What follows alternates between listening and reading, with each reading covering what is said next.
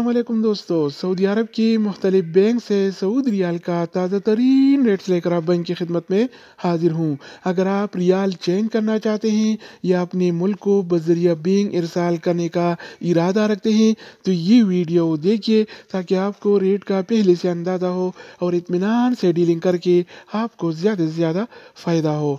Channel पर नए आने वाले दोस्तों से रिक्वेस्ट है कि चैनल को सब्सक्राइब करें, क्योंकि हम रोज़ाना की बुनियाद पर ताज़ा तरीन रेट्स शेयर करते हैं जिससे आपको बहुत और जिन भाइयों ने पहले से सब्सक्राइब कर रखा है तो उनकी ताउन का शुक्रिया। तो अब ये वीडियो का आगाज़ करते हैं।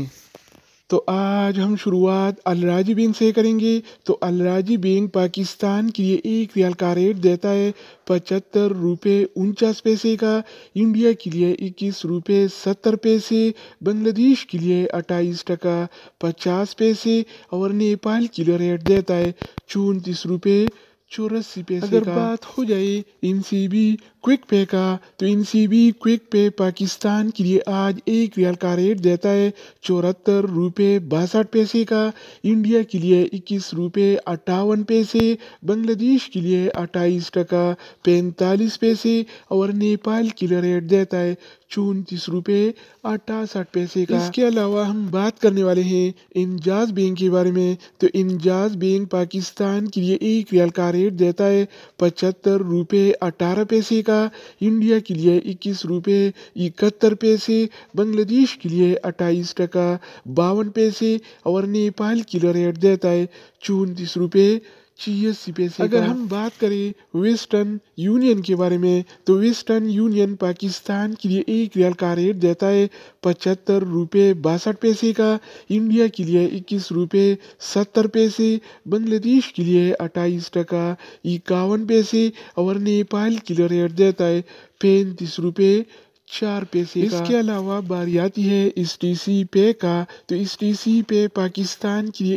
एक रियाल का रेट देता है पचहत्तर रुपये सिपर पैसे का इंडिया के लिए इक्कीस रुपये छियासठ पैसे बांग्लादेश के लिए अट्ठाईस टका सैंतीस पैसे और नेपाल के लिए रेट देता है पैंतीस रुपये तो दोस्तों इसके अलावा हम बात करने वाले हैं यूर पे ऐप के बारे में कि वो क्या रेट दे रहा है। तो यूर पे पाकिस्तान के लिए एक रियाल का रेट देता है पचहत्तर रुपये अट्ठावन पैसे का इंडिया के लिए इक्कीस रुपये चौहत्तर पैसे बांग्लादेश के लिए अट्ठाईस टका पचपन पैसे और नेपाल के लिए रेट देता है पैंतीस रुपये पच्चीस अगर बात हो जाए एन बी टेलीमनी का तो एन बी टेलीमनी पाकिस्तान के लिए एक रियाल का रेट देता है चौहत्तर रुपये इक्यानवे पैसे का।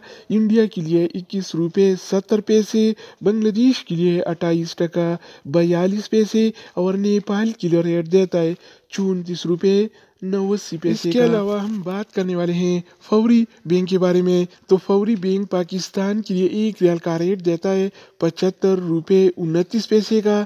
इंडिया के लिए इक्कीस रुपये चौहत्तर पैसे बांग्लादेश के लिए अट्ठाईस टका चौवन पैसे और नेपाल के लिए रेट देता है चौंतीस रुपये चौरासी पैसे अगर हम बात करें एक्सप्रेस मनी के बारे में तो एक्सप्रेस मनी पाकिस्तान के लिए एक रियल का रेट देता है चौहत्तर रुपये अट्ठानवे पैसे का इंडिया के लिए इक्कीस रुपये अट्ठावन पैसे बांग्लादेश के लिए अट्ठाईस टका चौंतीस पैसे और नेपाल के लिए रेट देता है चौंतीस रुपये सत्तर पैसे इसके अलावा बारी आती है सऊदी इरसाल का। तो सऊदी इरसाल पाकिस्तान के लिए एक रियाल का रेट देता है पचहत्तर रुपये सिपर पैसे का। इंडिया के लिए इक्कीस रुपये छियासठ पैसे। बांग्लादेश के लिए अट्ठाईस टका सैंतीस पैसे और नेपाल के लिए रेट देता है पैंतीस रुपये तो दोस्तों इसके अलावा हम बात करने वाले हैं मनीग्राम के बारे में कि वो क्या रेट दे रहा है। तो मनीग्राम पाकिस्तान के लिए एक रियाल का रेट देता है चौहत्तर रुपये तिरानवे पैसे का।